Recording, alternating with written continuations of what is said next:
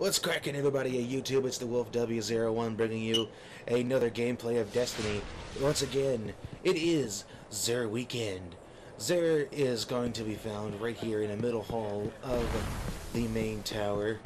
Right here where, um, Lord Shaxx for the Crucible is, along with the Crucible out there, that robot dude, whatever. Uh, let's see what he's got this week. Couple This repeats, of course. nine. He's got the Armamentarium, Crest of Alpha Lupi, Void Fang Vestments. If you haven't seen my other videos, uh, I'll just give you a quick recap of what these things are good for. This right here, Void Fang Vestments, good for the uh, Void Walker class.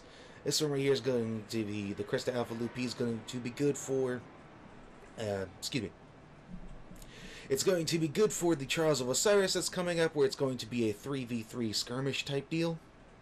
That's what the next event's going to be. I believe. I'll look up on it later, and I'll give you a recap on that, but yeah. The Armamentarium, that's good for uh, PvE and PvP purposes.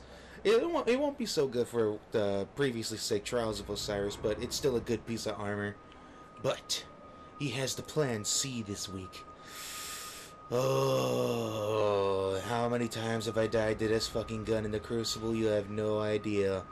But I have a few people, I have a few friends who actually own this thing. It is great. This is a must-buy exotic fusion rifle. I would suggest buying it. A lot of people say it's better than the Pocket Infinity. The Pocket Infinity is good, but the charge rate and the range on this fusion rifle is out of this fucking world crazy. I would buy it because you're going to be sitting there inappropriately inappropriately touching people from across the map with this thing. Like they're just gonna melt before you. It's great. So as you can see, I just bought it. And as for everything else it's got this week, Plasma Drive makes the contrail on any equipped legendary any equipped legendary or rare Sparrow blue under boost, which is like the little freaking boost trail that comes out the back of your Sparrow. Emerald Coil makes it green.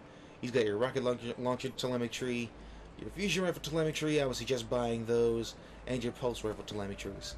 Buy those, they'll get the Plan C leveled up. I'm actually going to buy me an extra one right now. It's for your happiness. And uh, that's about it. That's what he's got for this week, people. Uh, don't forget to like the video, subscribe for more. I post a video like this every Friday morning, first thing I can. Peace out, people.